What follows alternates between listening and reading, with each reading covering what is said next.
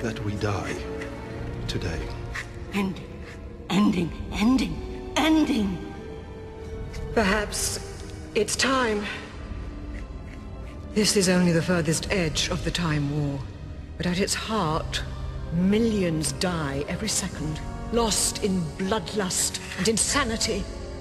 With time itself resurrecting them to find new ways of dying over and over again. A travesty of life. Isn't it better to end it at last? Thank you for your opinion.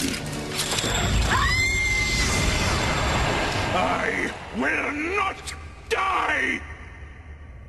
Do you hear me?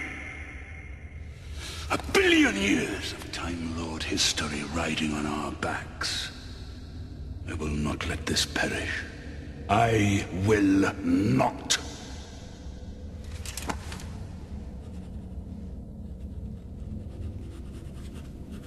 There is... Um, there is one part of the prophecy, my lord. Forgive me. I'm sorry. It's rather difficult to decipher, but it talks of two survivors beyond the final day.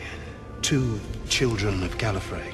Does it name them? It foresees them locked in their final confrontation.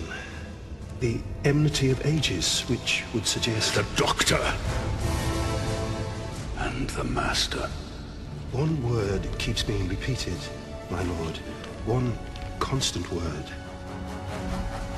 Earth. Earth. Earth. Earth. Earth.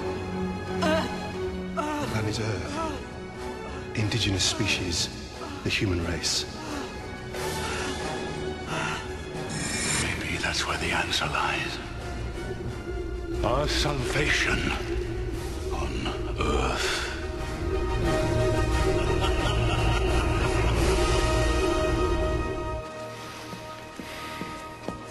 Now then, I've got a planet to run. Is everybody ready? Six billion, seven hundred and twenty-seven million, nine hundred and forty-nine thousand, three hundred and thirty-eight versions of us awaiting orders. This is Washington. As President of the United States, I can transfer all the United Nations protocols to you immediately, putting you in charge of all the Earth's defenses. Unit HQ, Geneva reporting. All under your command, sir.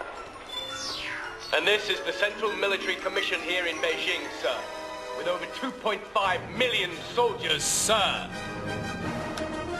Present arms!